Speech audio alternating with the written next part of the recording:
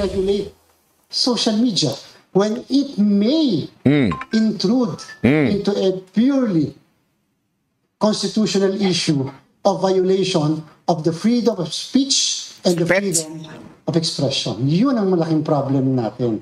Ito ang hamon ni COMELEC Chairman George Garcia kasabay ng kauna-unahang forum na pinangunahan ng ahensya tungkol sa artificial intelligence na posibleng makaapekto sa eleksyon. Kasama sa mga dumalo ang mga kinatawan ng mga political party, mga election watchdog at iba pang stakeholders. Ang pakay nila makagawa ng regulasyon na mag-iigpit sa mga kandidato pagdating sa social media. Ibig sabihin, kahit walang batas, sapat na ang paglalabas ng resolusyon ng COMELEC.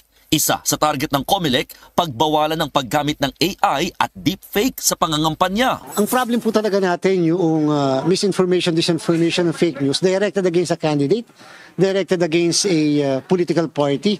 Napakahirap po dyan, lalo pat may presence ng trolls. Sa pagkandidato, Trolls? bawal ang misrepresentation. Sa pagkandidato, ikaw yan, ikaw mismo. Pati ang pagkakaroon ng maraming social media pages o accounts ng isang kandidato, nais din nilang higpitan. At tulad ng sa telebisyon, radio at print na may limitasyon lamang ang paglalagay ng mga advertisement, balak na rin itong ipatupad online. Ah, dapat lang po, lalo yung boosting.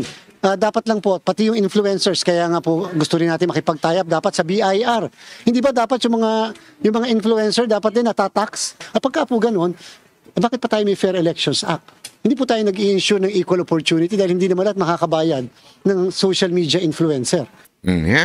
Makinig kayo. Makinig kayo.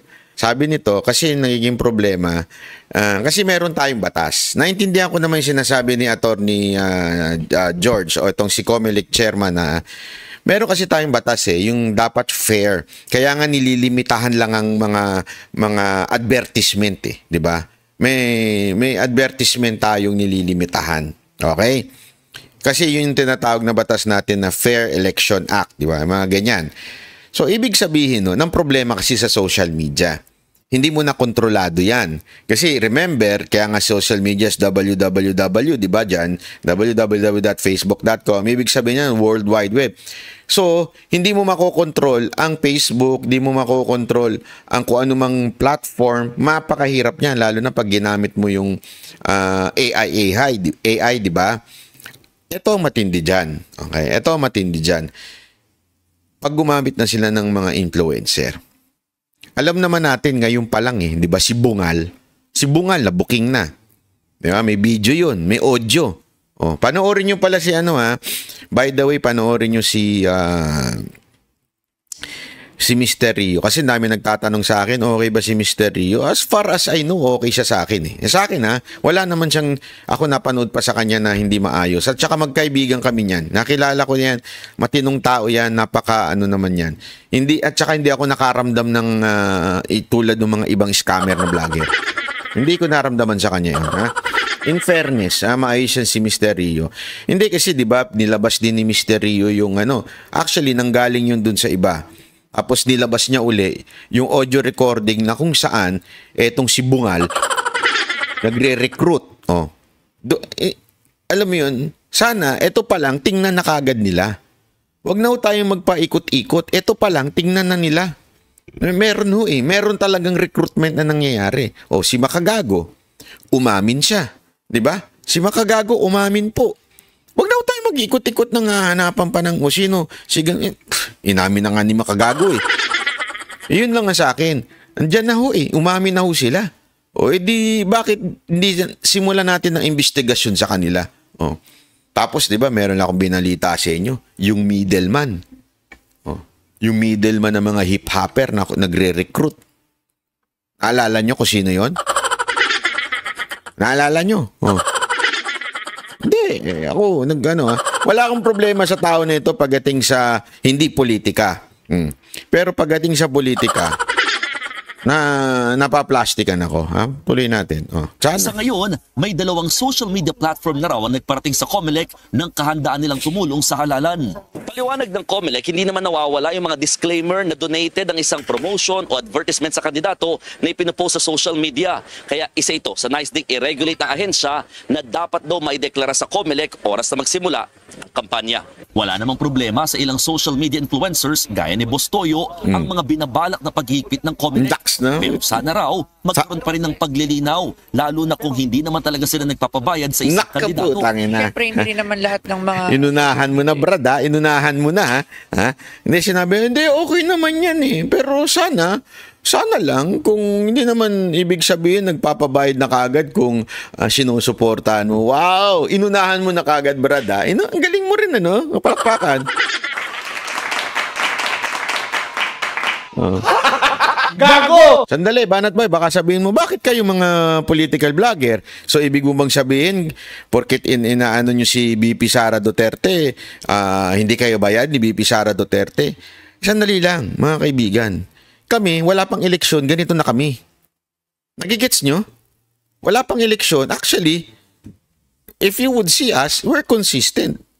Di ba? We're consistent ever since 2015 hanggang ngayon. Tuloy-tuloy yung political vlogging namin eh. Hindi kami nagbabago. Hindi nga kami bumababa eh. Ibig sabihin, hindi kami yung ah, maghihinay-hinay muna kasi walang eleksyon. Walang ganun. Tuloy-tuloy kami. Sa katunayan, ang humihinay-hinay sa amin, yung mga sarili naming mga vlog, yung mga adve- adventure namin. Tama, mali. Pero ito, pinangungunahan niya na kaagad na, sandali, eh, eh kung kaibigan namin yun, yung, yung ano, oh, ah. Sabi nga, eh, pumipiyo ka agad, nagiging defensive. Defensive ka, Boss Toyo? Tanong lang. influencer na katulad ko, ah may bayad. So, hindi na, yung iba, kaibigan na, before pa maging sikat, before Nak nang utangin na niya na. Kaibigan na daw bago ba mang... Kaibigan? Hindi. eh, eh, Ito lang ako, nagtatanong lang ako, boss. Ito, seryosong tanong lang to, ha? Hindi, kasi baka sabihin nyo, bakit nagano yung uh, mga kagers dyan, nagano kay boss? Oh, wala akong problema sa kanya in terms of non-political content. Pero kasi, napaka-obvious yung mga ganitong klaseng diskarte, mga sabihin mo na, kaibigan naman namin, eh, paano kung nga kaibigan namin gusto namin i-promote, bla bla bla. Kung kaibigan mo yan, ngayon mo lang babanggitin, parating ang eleksyon, ano to? Ang gagago ba tayo? Hindi. Alam mo yun, eh, kung maloloko mo yung mga followers mo, sige, maloko mo. Pero yung mga tao mga utak, kaibigan mo, never mo na mention. Mami-mention mo lang siya during the campaign. Tapos sasabihin mo, we are not paid. Hindi, ako yung nagtatanong lang ha. Nag, na, nagigets nyo yung logic. Di ba? Ako, kaibigan ko si Isko. Ha? As in, kaibigan ko si Isko. Hindi nyo ba nakikita kahit hindi ko siya kandidato, paulit-ulit kong binabanggit siya, from time to time, nababanggit ko siya? Kasi kaibigan ko eh. Nagigets nyo? 'Di ba? Yun ang talagang totoong kaibigan mo. Kaya pag may naalala ka na, oh, maganda to, ganito. O, naalala mo ngayon si Isko, 'di ba? Sasabihin mo ito. Pero yung out of nowhere, eh, hindi ka political vlogger, tapos sasabihin mo, pagdating ng kampanya, bigla ka mag ganito, magsasabi ka ng ganyan, ganyan, tapos sasabihin mo kaibigan mo. Sinong niloko mo? Sinong ginago mo? Sinong ginawa mong tanga? Gets? Eh, diyan pa lang, kitang-kita mo na dumedefensive ka na ibig sabihin, may plano kayo. Oh, tama mali. Kasi alam mo, boy, ah, boss, boy, boy Toyo. Ano mo pangalan to? Boss Toyo. Ayokong tawagin Boss Toyo to eh. Boy Toyo na lang, pwede ba? Kasi si Boss Dada ang naalala ko. eh. Hindi, di ba? Ah, Boy Toyo. Ah, ito lang ha, pansinin mo ha. Hindi namang masama kasi. Aminin nyo na lang yung katotohanan. Aminin nyo na lang ho yung katotohanan. Eh, ka, hindi, katulad di ba ni Makagago, mas mas re-respetuhin ko ba si Makagago kaysa sa'yo kung sakasakali ah, kung sakasakali lang naman.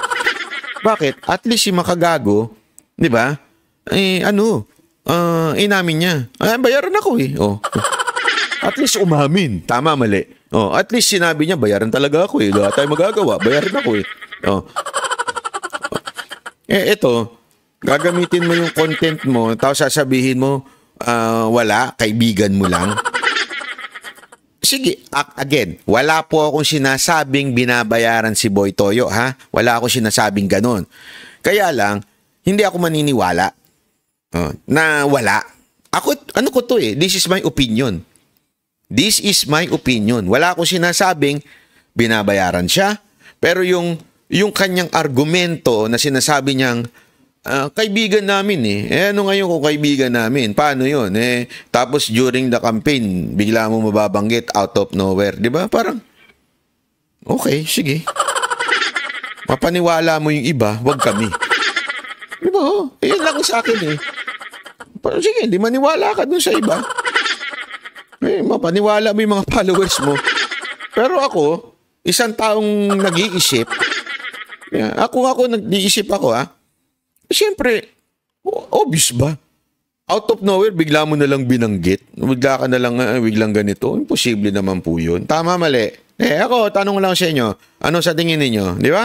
Ah, tuloy. Naging popular, ah, kasakasama na namin sila, mga kaibigan na namin. So minsan, ah, talagang ah, pakikisama din lang yung ginagawa namin. Wow, pakikisama, nakakasama daw ng. Ay, nako, no comment talaga. No comment. Na- Nakiki, nakikisama, mga kasi mga kaibigan naman nila, pakikisama na lang daw yung kanilang gagawin. If ever they will promote and uh, campaign, pakikisama. Na, kayo, tanungin ko kayo. Hindi ah, baka kasi mali rin ako eh. Baka mali ako. Oh, tanungin ko kayo, naniniwala kayo? Naniniwala kayo na kung sakaling biglang magbanggit sila ng ah, ng ah, tao, eh totoo? Hindi, ako tanong lang ako sa inyo ha. Naniniwala kayo na pag nagbanggit sila ng ng mga tao ay walang walang halong ah, negosyo doon. Iyon ay because kaibigan lang nila. Ha?